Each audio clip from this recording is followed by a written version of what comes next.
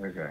Excellent. So, uh, SABR's excited uh, for the first time in conference history. We have a uh, we have a group of student presentations as part of our uh, research presentations, and uh, and this group, which uh, features students but is not exclusively students, uh, is is the first in that triplet of research presentations at this year's conference, and so I'm excited to feature that for the first time this year and excited for, uh, for this group to uh, kick us off. So go ahead, fellas. Thank you. Go ahead. Hi. Uh, hi, uh, I'm Gregory Dvoroscik. I'm a, uh, junior at Wake Forest and I'm from Dallas, Texas. So a couple years ago, um, before Rangers game, I attended a uh, SABR 101 info session uh, by Dr. Camp. I live a few blocks from SMU, so I decided to contact him and uh, see if he needed any help on a project or something. I had no idea that uh, I'd be presenting with him at the uh, SABR conference uh, at any point. Great. Uh, yeah, so I'm Joe Camp, and I'm a professor at SMU, and um, I pulled in Gregory, but I also had through a chat with the athletic. I don't know if the email remembers this, but he I had asked him with the power of machine learning, what questions would you uh, would you ask? And so that led to this research. And so um, I'm really excited to be working with both of them, and I especially want to uh, accentuate how vital Gregory has been to us in our research because um, we ask Gregory to do something and he just goes and does it and, and he figures out how to do it and we have the big ideas but he has been implementing pretty much this whole effort. So kudos to Gregory. Do you, you want to uh, share the slides? Yes. Eno, did you want to say anything? Oh, just want to say hi. Uh, my name is Eno Sarris. I write for The Athletic. I remember that question in the chat, and it's always been interesting to me to think about, uh, you know, are there, you know, 25 million pitches, you know, because there's, there's just as many pitches as there are pitchers that throw them. Um, or are there nine pitches like we've decided? Like, are there only sort of fastball, slider, curve?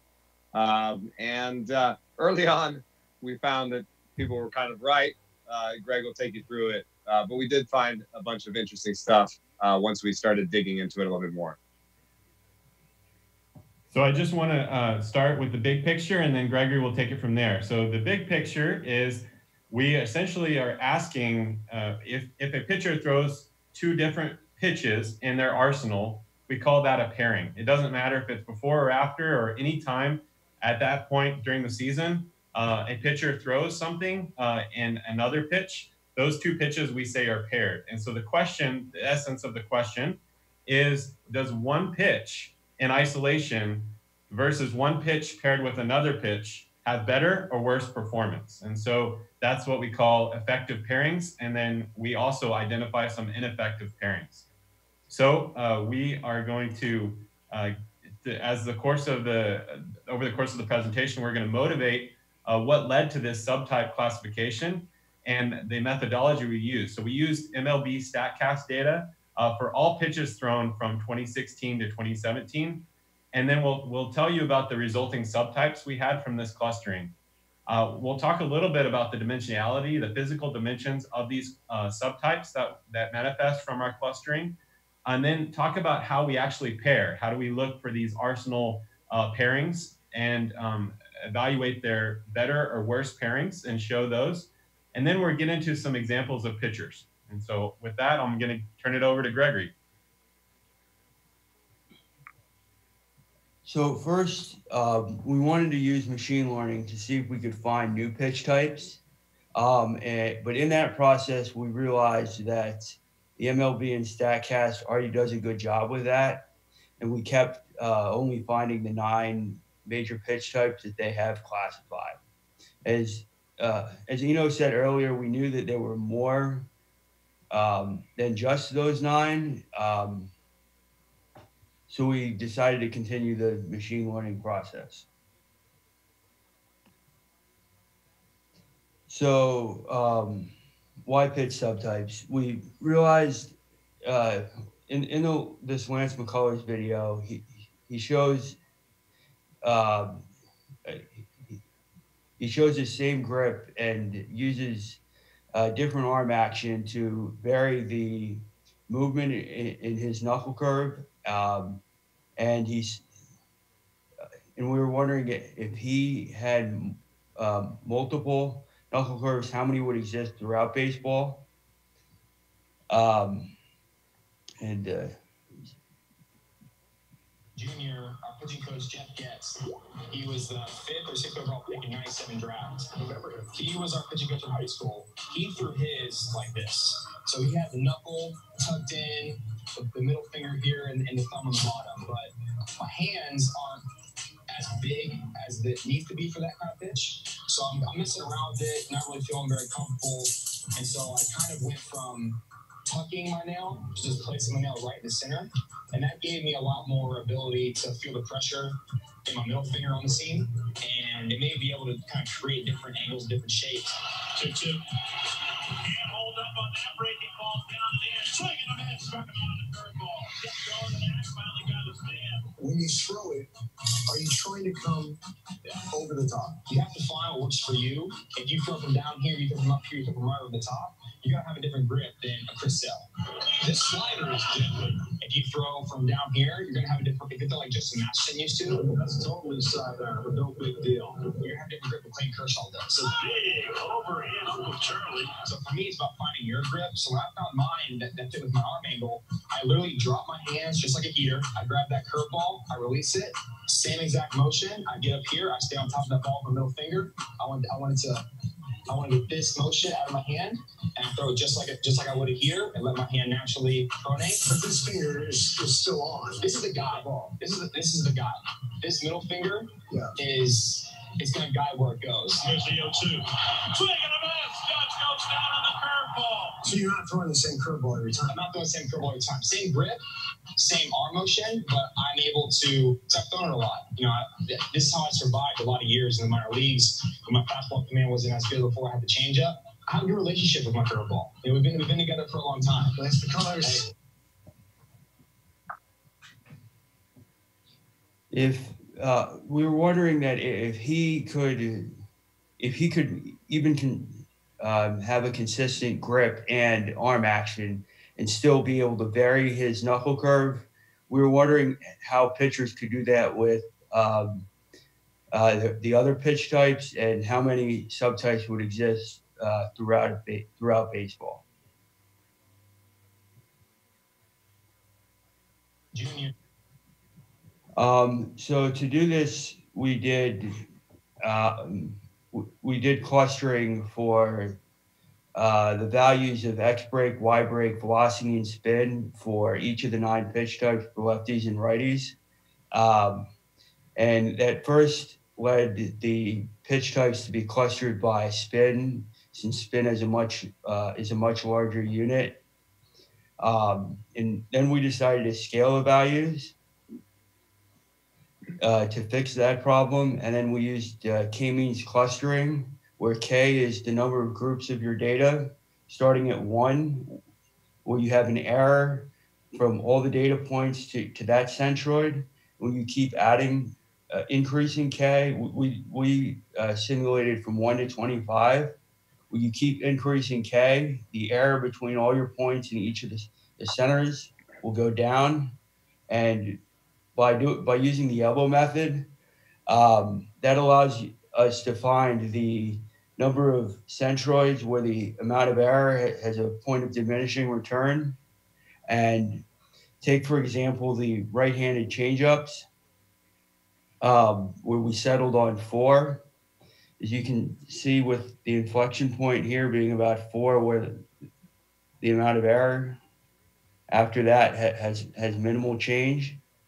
Um, and with that, the, for example, with the changeup, the the break in the pitches was similar, uh, but the spin was very different for the uh, first two examples, and the break was similar for the last two, but the velocity was different.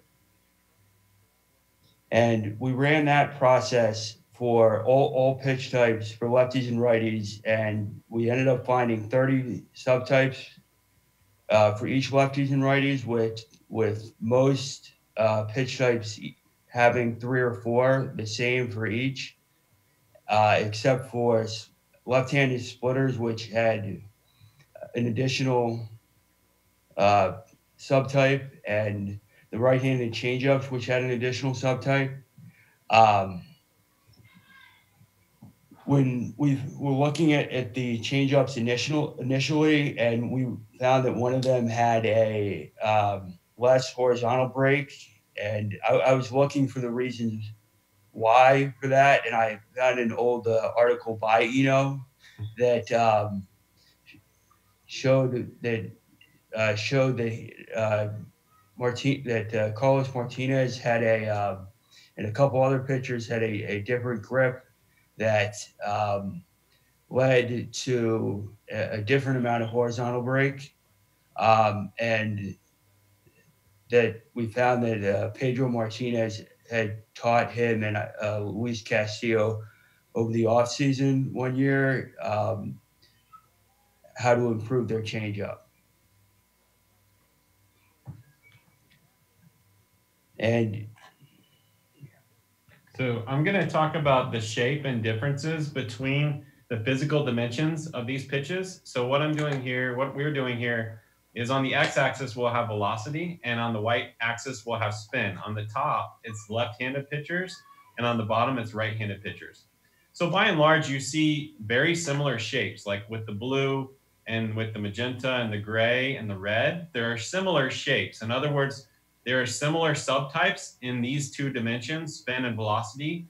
Um, but I've uh, what we, we've done is identified the additional pitch that we showed in the previous slide. We had this additional splitter. So uh, you see that the shape that was uh, that was from the right-handers is a little bit different, is very different than the shape that's formed by the left-handers. And we have this additional data point that has higher spin um, and similar velocity as the other pitches. Uh, in addition, we have this additional changeup that uh, Gregor was talking about, uh, where it has uh, the, the, the, the, lower uh, velocity, but has a similar spin as a higher velocity pitch, with which is um, is kind of a unique thing for if you if you guys know about Bauer units. Uh, that usually matches the velocity and spin are kind of correlated with each other. So it's interesting that the lower velocity has higher has much uh, of a higher as high of a spin as a higher velocity pitch.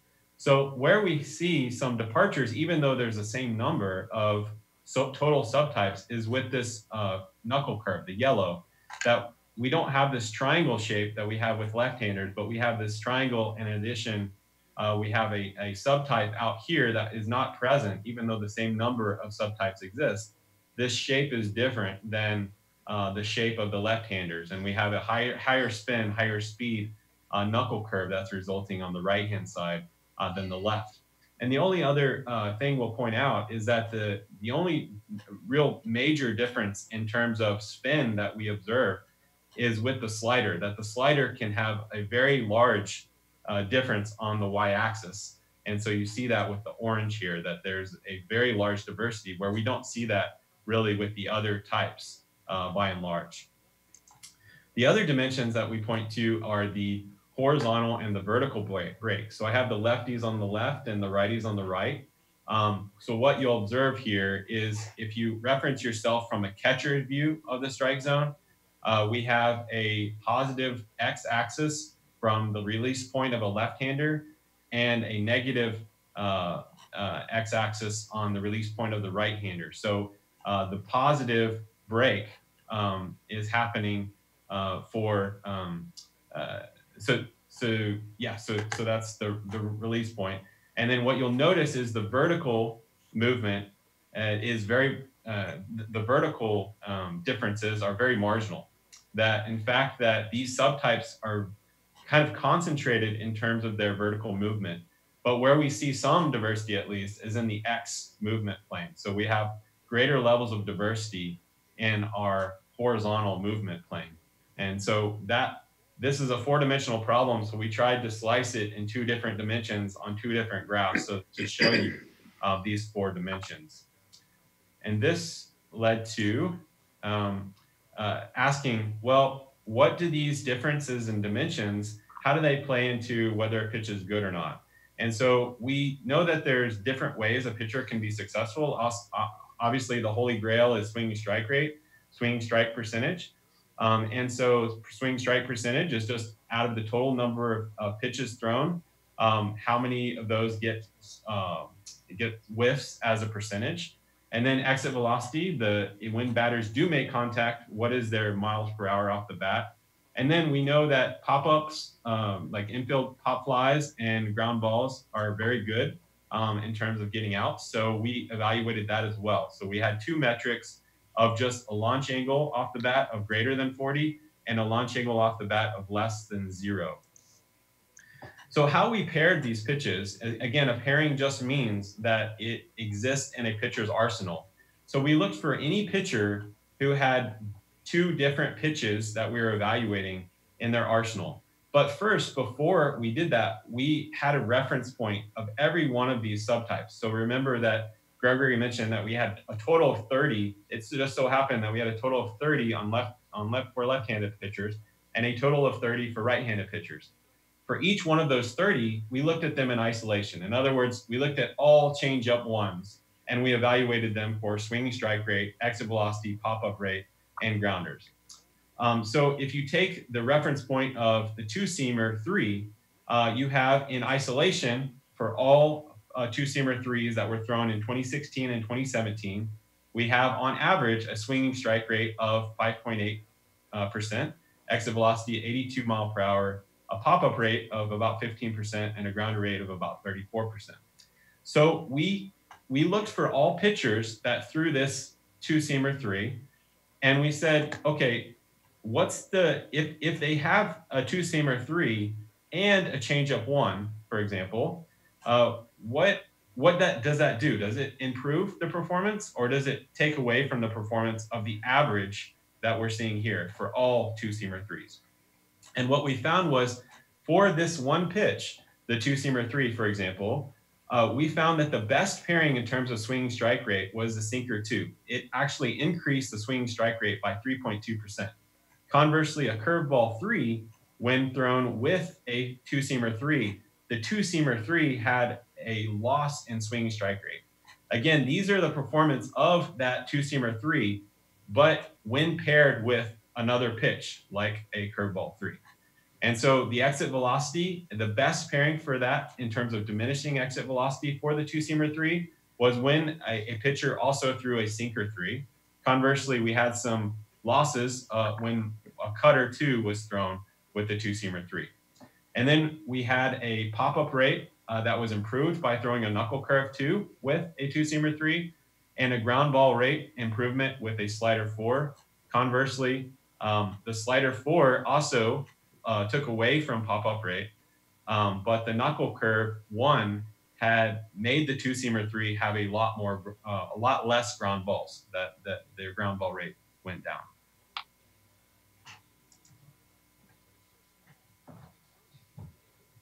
So um, we found we, we've found the uh, best pairings um, for uh, righties and lefties. Um, here are some of the more notable um, pairing combinations.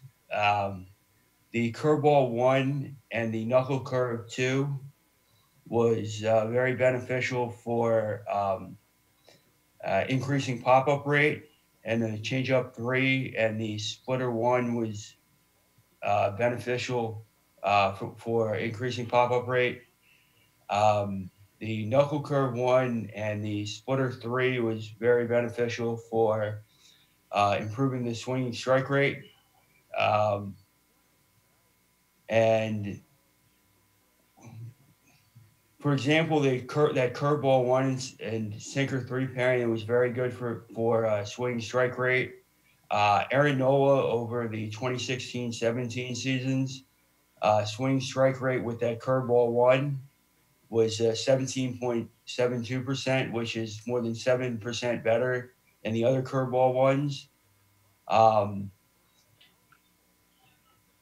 which may be attributed to uh, having that sinker three in his in his arsenal, and these we did the same thing for lefties, where the sinker three and the cutter two was uh, very beneficial for ground ball rate. Um, but most notably, not, notably for the lefties, the curveball three or the curveball two with the sinker three was uh, very helpful um, for pitchers um, with both the swing strike rate uh, and exit velo. Um, and the, that curveball two sinker three pairing was um, uh, heavily utilized by Jon Lester uh, who, who had a, a, 28% swing strike rate. Um, with his cur- curveball two, which was 15 percentage points higher than um, other curveball twos over those two seasons. We did this same thing for um, the worst pairings with the knuckle curve four and slider three being a very weak pairing for righties for uh, swing strike rate, exit velo, and uh, ground ball rate. Um, that was a combination uh, thrown frequently by Jeff Samardzija. Um, and Eno will talk about uh, Samardzija more in depth later. Um, and with the lefties, the two seamer two and the knuckle curve two, um, reduced uh, ground ball rate a lot. Um, and while uh, while not on the table, the changeup three and knuckle curve, curve four was uh, not good for swing strike rate, especially with Matt Moore, who's who was about his changeup three was about 1.8 percent lower than the other changeup threes, um, which is which could be surprising considering he, he had a, a good curve curveball and good changeup uh, separately at the time, but having both in his arsenal um, was not successful. Um, one of the reasons I really like uh, this method is that it deals with pitches that the pitchers actually currently throw. So if you come to a pitcher and you say, "Hey, we want you to add more horizontal break or more vertical break," um, you don't know that they've necessarily thrown pitches like that. But with this one, for example, you've got Aaron Nola. He throws both the curveball one and the curveball three with the sinker three. But from this research, you can say, hey, the curveball three is better for you. It gets you more swinging strikes. We know you throw the curveball three. Uh, and so you can do is show him this video of his curveball one that has less horizontal break and it's slower. Um, I don't know if we can show the video. Hawks walked 58 all of last year. Home runs are up a little bit. He's got that. It counts three and two. And he's got that on a 3 1 count. It was like a 78 mile an hour curveball uh, with not a lot of uh, horizontal break. Then you can show him this curveball three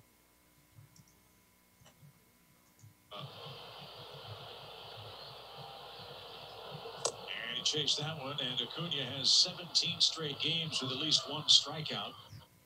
So that that was a, a, pitch that Aaron Nola throws, and so you can basically in a pitch session say we want it to look a little bit more like that. We want it to be a little bit more 81, 82.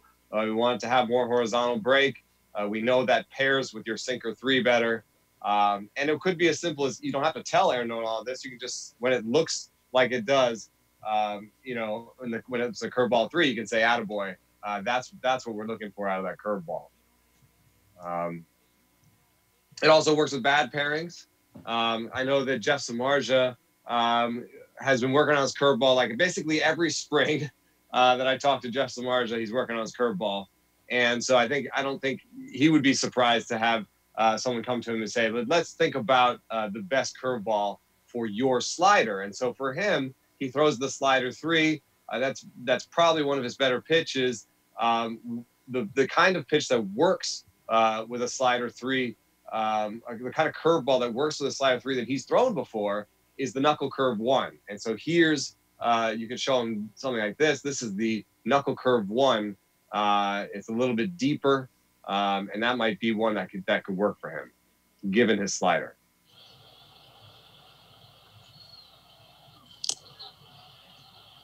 Tipped into the glove of Posey, and that struck. So there's a, a way for for people to make this uh, an actual uh, a, a, a, coaching tool, but you know I think it could also be used uh, for scouting. Um, for example, Aaron Bummer, um, you know he has he's had you know not the greatest results for two seasons, and then last year was amazing. Um, and what you might look when you look at combinations, his sinker three, which we all know is a great pitch, um, actually combined really well with his fastball one uh, for for swinging strikes. And last year, what he did was he threw more of the sinkers. Um, you know, he threw more of the sinkers low, and then used the fastballs high for whiffs. Um, so you could either say, well, hey, that's why they signed him a five-year, sixty billion dollar you know deal. They're like, we believe that this is working. But you can also, uh, you know, say that to scouts like, hey, if you've seen someone with a sinker like this and this four seamer doesn't look amazing, this is a good combo. So you can look at Aaron Bummer's sinker uh, and how he how he uses it. Three groundouts, a strikeout, two lineouts. Use that low, establish inside. You see all those uh, those pitches inside there, uh, and then uh, how he can use the fastball, the four seam fastball, which is not necessarily his strength, but uh, he can use the four seam fastball for whiffs.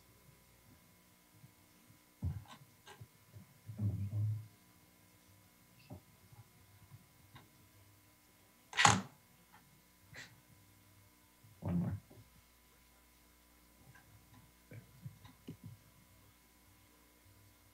I don't have that. That was not working. Oh, yeah, sorry. Two two. So in the same place, uh, the guy thought it was a sinker and he swung under it. Um, so it's uh, you can be using sequencing, uh, but we just wanted to know that like you know if you're scouting kids, you could say, hey, even if the other stuff is not great, if they can uh, play off the fastball one and the sinker three in this way, uh, that's proven to have success. Um, so you know, it, obviously the White Sox used a little bit of that thinking when they signed that extension. Um, so overall, we did realize that subtype pairings in the arsenal can be beneficial. Um, and for both lefties and righties, um, we realized that we found that uh, large differences in vertical break are good for improving pop-up rate, but um, they, they do tend to decrease uh, ground balls. Um, and when off-speed pitches are your um, reference pitch, uh, if you want to reduce, if you want to uh, reduce contact or reduce harder contact, um, pairing it with pitches that have uh, a large difference in horizontal break is helpful. And um, wi- most notably with righties, uh, off-speed pitches, um, when paired with pitches uh, that, that, uh, have different velocities, um, are, are good for a swinging strike rate. And um, for lefties, fastballs have the opposite effect. Um, with lefties, um, when it comes to a greater velocity margin and swinging strike rate. In, in future work, we plan to use machine learning to better see these relationships um, and possibly look at more recent, the look closer at the 2019 season. Um, and I think I'm, I plan to apply this um, cluster process to uh, ACC college baseball data for the last four seasons to see if I can find anything similar. Um, and I'd like to thank Dr. Camp and Eno Sarris a lot for this, uh, the opportunity to work on this research project and uh, present here. Thank you. Yeah, so we see a couple questions coming in the YouTube chat. Um, I think those are directed to us, the last two. Um, and, uh, and it says, why are we why do we care about um, measuring spin rate anyway? What makes us care about that? Um, and so I think uh, in terms of from just from reference of this study, and then I'll let Eno say more about spin rate. Um, but from reference of this study, we wanted to basically see if it had an impact on uh, subtypes and if subtypes were created across um, because of spin rate, and that's why we included in our analysis. Um, and in general, when you look at the uh, the movement uh, that happens, this is from another resource. But in terms of what happens with spin and why it is meaningful, uh, the the horizontal spin and the vertical spin have differences in in drag that result, and that creates uh, horizontal and vertical movement. And when you have a reference point, the reference point is actually from this gyro uh, ball. And that's just imagine like a football that's being thrown as a spiral or a bullet that's being coming out of a gun. They're all, they're both doing a spiral. And that's because it's keeping its, um, its path. And that's, that's what the comparison point is. So anything from our X break and Y break are all in reference to this spiral ball um, or a bullet or a, a, a football being thrown. Um, and whatever naturally would happen with uh, physics in terms of gravity that is induced on the ball, that would be taken into account with the gyro ball. And so additional um, spin in the vertical or horizontal movement is going to um, pull the ball up and down for vertical or side to side uh, with horizontal. Um, and that's going to have an impact on these uh, X and Y break numbers that we show in the, in the next slide. Um, but anything you want to add to why spin is important, you know? I think it's a good question because we're not always sure that spin by itself um, matters uh, because we're talking about there's resulting movement from spin. So maybe spin just creates the movement, and the movement is what um, what is so successful. But I would say that I don't think that we figured everything out about spin yet. Um, because of gyrospin in particular on sliders, there's a lot of spin that doesn't contribute to movement but may still be meaningful. Um, and there's also, uh, because of the way spin is conserved over the flight of the, uh, of the ball, I believe that uh, high spin pitches may have more late movement uh, than low spin pitches. Um, and that, I don't think I've seen that modeled. Um, I, have seen some references to that in some in other people's work that uh, I'm not sure if it is. Uh, we know exactly how important it is yet. So I think spin by itself can be important. And I don't know that we nailed down. So we wanted to see how important it was. As you saw from the results, um, it didn't seem to drive a lot of the large differences in swing strike rate or ground ball differences. Um, it, that was more reduced. That was like velocity differential and movement differential. Um, but uh, I think it's a good question. Uh, and I would say I don't think we figured everything out about spin, especially when it comes to sliders.